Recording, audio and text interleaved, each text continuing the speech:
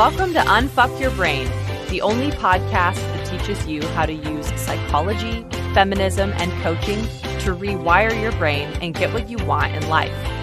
And now here's your host, Harvard Law School grad, feminist rock star, and master coach, Kara Loewentheil.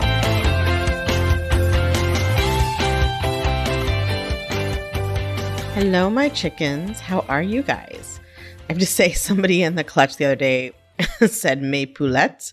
I was like, oh my God, I need to use that. So now I might alternate calling you mes poulettes, which is just my chickens in French.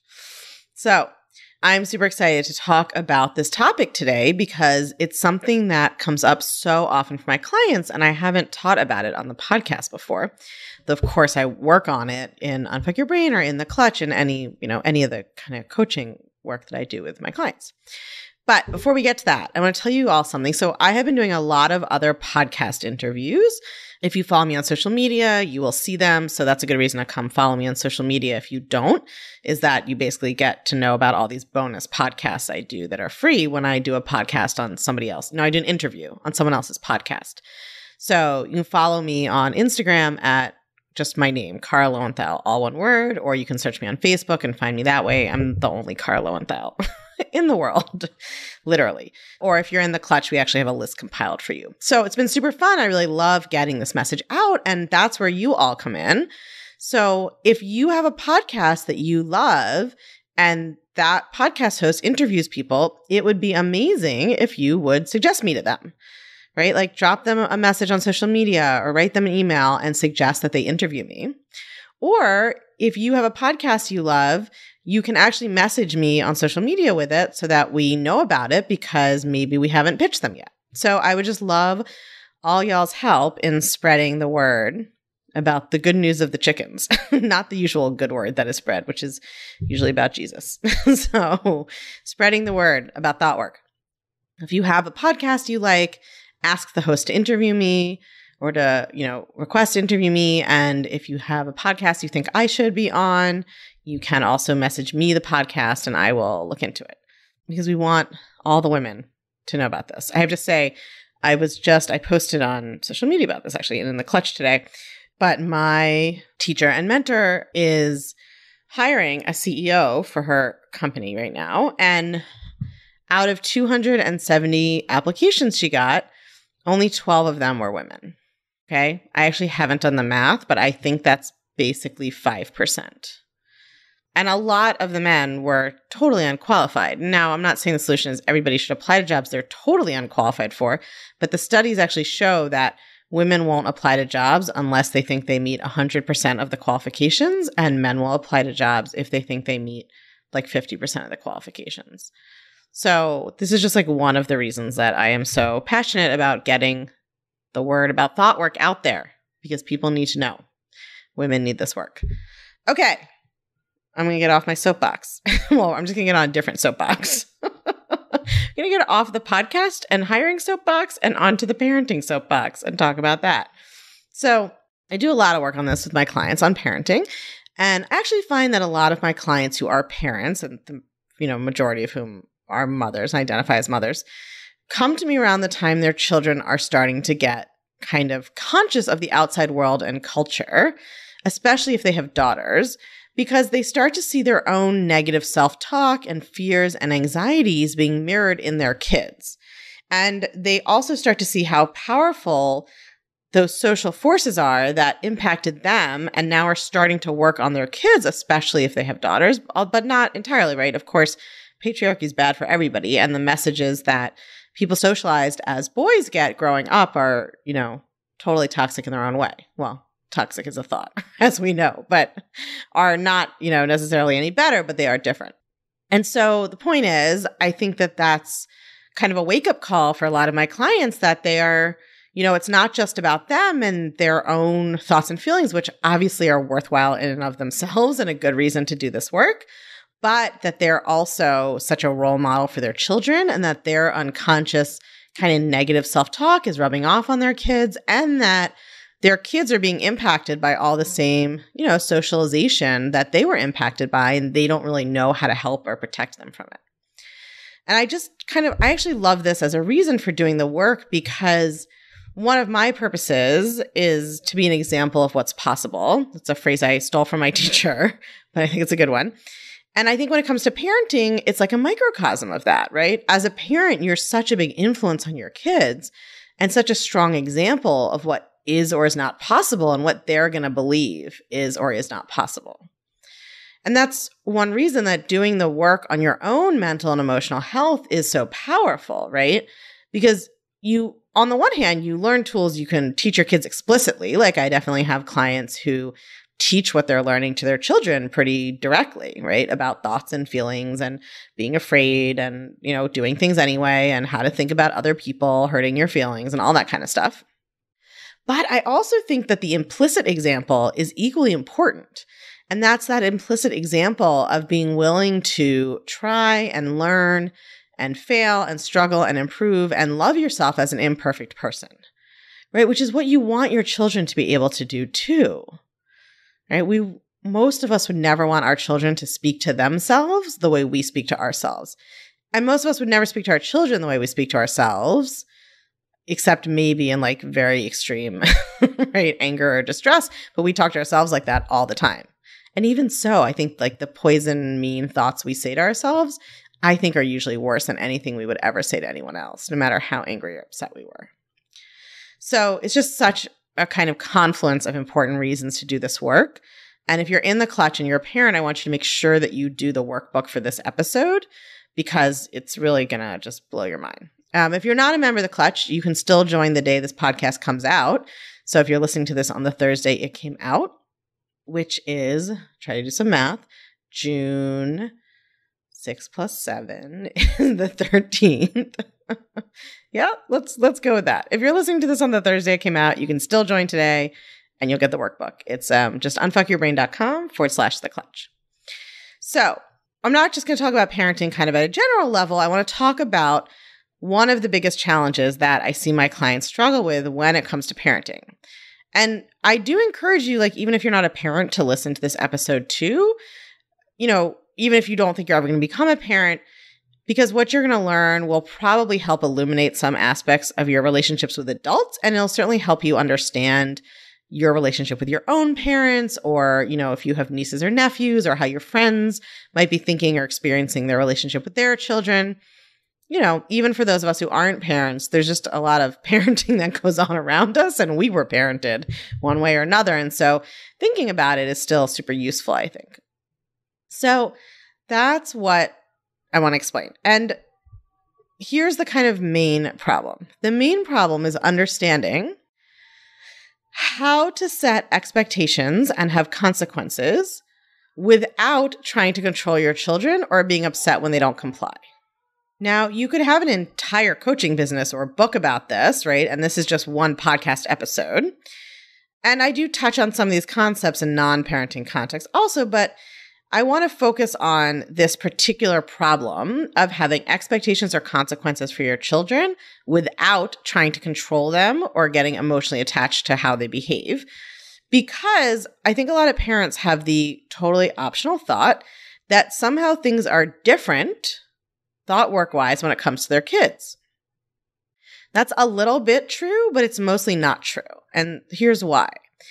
So, I want to give you a quick refresher on what I teach about boundaries because it's relevant to this topic mostly as kind of a distinction. Like we're going to compare how you deal with children to how you deal with adults. So, a boundary is a decision you make for yourself about what you will do in response to someone else's behavior. It's not an ultimatum, it's not a way to control them. You don't make the boundary to try to motivate them to change their behavior. You don't make the boundary out of anger or frustration because you want them to change your feelings. You make a boundary out of love for yourself and for them. And a boundary might be verbalized or silent, right? It has nothing to do with communicating anything to the other person. This is a concept that a lot of people find challenging, right? Even when applied to adults, because we're so used to thinking of boundaries as something other people are supposed to respect or abide by. And we try to enforce them to manage other people's behavior as a roundabout way of trying to change our own thoughts and feelings. And it becomes even more challenging for your brain when you try to apply this idea to children, right? And that's not because truly everything is different with children, but it's because most parents have the thought that even if they're not supposed to try to control other adults, they are supposed to try to control their children. So here's the good and bad news it's not true that you're supposed to control your children, right? Or their behavior. That's an optional thought. And even if you choose to think the thought on purpose that you should be able to control them, it's not going to change the reality, which is that you cannot control them. Even though your children live in your house and depend on you, you cannot control their behavior. And believing that you can control it causes so much stress and suffering and self recrimination, right? Because here's what happens your kid does something you don't want them to do. And first you're mad at them. And then you get mad at yourself, right? Because you have the thought that parents should be able to control their children. So when you can't control your child, what does that mean? You make it mean that you're a bad parent and that you're not good enough. Right? So much of the suffering I see around parenting comes from my clients making their children's behavior mean something about them as a parent or as a person. Right? There's also suffering that comes from making a child's behavior mean something about the child, right? Or the child's future. But even that usually circles back to making it mean something about the parent themselves. Because let's say you believe your kid is stubborn, so what? Why is that a problem? Only because you think that they shouldn't be, or that if they are stubborn and bad consequences happen, it'll be your fault, right, as a parent for failing to make them not stubborn. If you start paying attention to your thoughts and feelings around your children's behavior, you will see that it mirrors your self critical thoughts about every other area of your life. It's not a unique situation right? If you tend to worry about what other people think of you in your own life, you are going to find that you worry about what other people think of your kids and what they think about you because of your kids. If you tend to make anything that goes wrong mean you did a bad job, you're going to find you make anything your kids do mean that you did a bad job as a parent, right? Whatever your thought patterns are about yourself, they're going to show up on your children. They're just a green screen for your projection right? And so you're going to be creating the same kind of suffering there as in the rest of your life. So here's the difference between how you deal with a child and how you deal with an adult, right? So I just reviewed kind of how boundaries work for an adult. And it is true that, like an adult, you cannot actually control your children's behavior. But there is a difference in how you want to relate to them. And so that is the difference between a boundary with an adult and an expectation and a consequence with a child.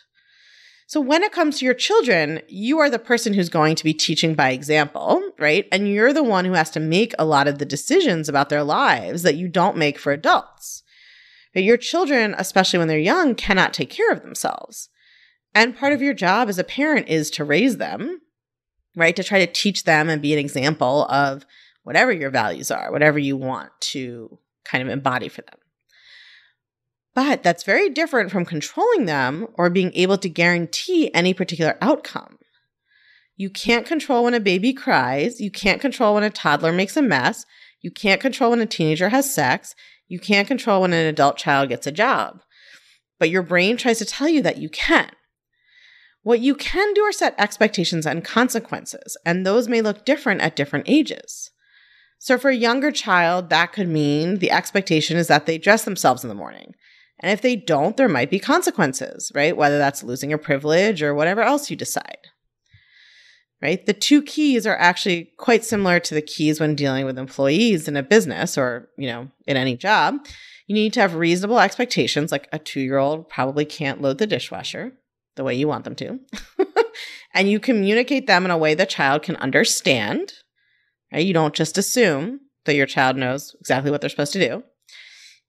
And you are willing to carry out the consequence without any emotional drama. I should say, really, there's three keys because your expectations, you want to know what your reason is for them and like it. Do you like your reason for an expectation about your child's behavior being, I want you to behave a certain way so that Mary in the PTA has certain thoughts about what a good parent I am? Right? You like might not like that reason so much. So you've come up with your expectations in a kind of conscious, considered way, right? You know your reasons for them and you like those reasons. You've communicated them in a way the child can understand, which obviously is going to vary at different developmental ages. And you are willing to carry out the consequence without any emotional drama. And this is where parents really struggle. And it's the way in which dealing with kids is actually similar to dealing with boundaries for an adult in this sense, right? In the sense that you are not going to be effective for yourself unless you are able to carry out a consequence without emotional drama. Right? You notice when I talked about boundaries, I said a boundary is not meant to control the other person's behavior. With children and an expectation and a consequence, it is a little bit more suggesting something for their behavior, right? You still can't control them, but it is more aimed at producing a certain behavior, right? Like with a boundary with an adult, you may not even ever tell them about the boundary because it's not about getting them to change with a child that is, you know, young enough and living with you that you are still kind of in charge of things like feeding them and dressing them and getting them to school and whatever it is, you are sort of making more of an effort to produce a certain kind of behavior. But what is the same is that you having emotional drama, right? You believing that if the child doesn't do what you told them to do, it causes your negative feelings and you have to be upset that's exactly the same between a boundary with an adult and a expectation and consequence with a child. Right? People do this with boundaries with adults all the time too, right? They make a boundary and they're not really willing to carry it out.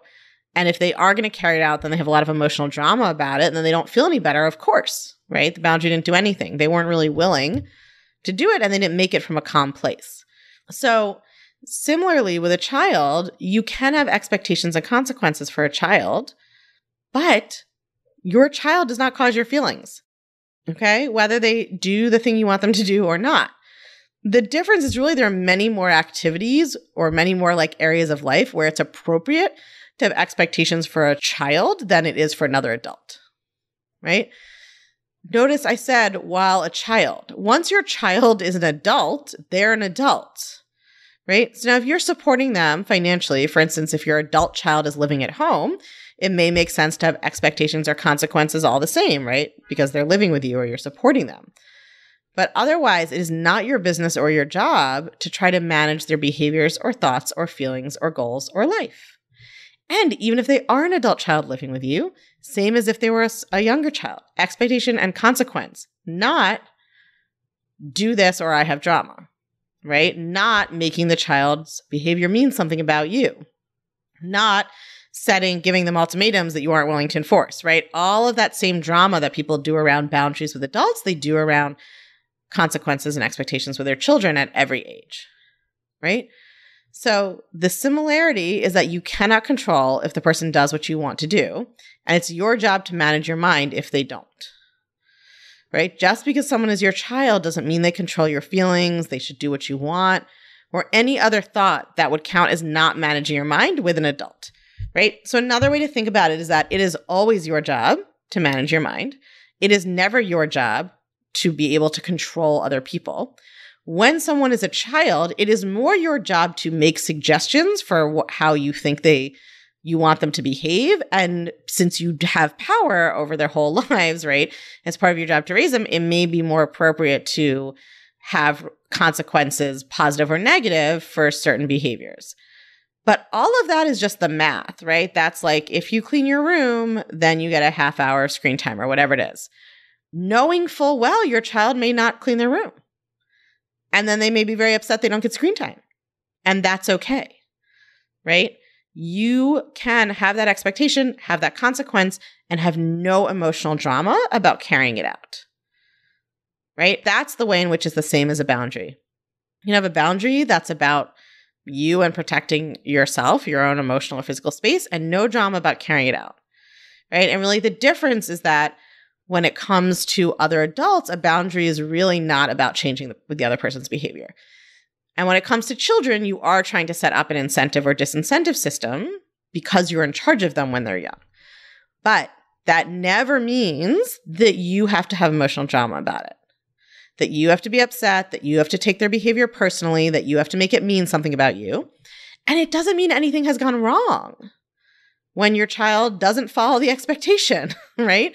It's like you have to make the expectation knowing that your child very well may not follow it. You may have a child who always follows it, and you may have a child who never follows them. And then you have to carry through those consequences without drama, right? One of the kind of like most ironic or sort of funny, I mean, I mean this affectionately, but funniest thing I find in coaching parents is that the parent will be completely not managing their mind about the child and they'll be very upset that the child isn't managing their mind about school or their sneakers or whatever right like you can't expect a child to manage its mind and do what it said it would do and stick to agreements when as a adult and as a parent you yourself often procrastinate or ignore agreements you've made with yourself or try to get out of agreements you made with other people or don't do things you told yourself you'd do right? You can't expect a child to manage their mind better than you do.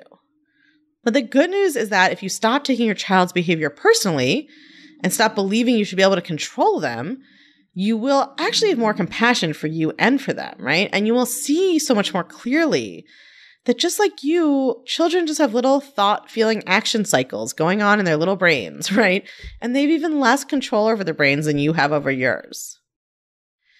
So that's the sweetness for the rest of this podcast, right? You can't control your children no matter how hard you try, and believing that you should creates so much suffering. And making their behavior mean something about them or their future or you also creates so much suffering. So yes, there is a difference between dealing with your own your own children Right? I'm not saying you should try to parent other people's children. With your own children, there are a lot of behaviors where you may want to set up having expectations and consequences, assuming that you know and like your reasons, right? You've really thought about them. It's not just, well, this is what you should do, and this is what my parents did, and this is what the mom down the street does, and I want these people to think we're good parents and whatever else, right? You've really chosen those expectations and consequences consciously and you are willing to carry them out with no emotional drama. So that is the difference, right? It's not appropriate to have expectations and consequences for your partner or your mom or your best friend or your boss or your employee. And that, well, your employee actually, yes, but right, but it is not appropriate to have expectations and consequences for other adults' behavior, right? Adults get to do what they want.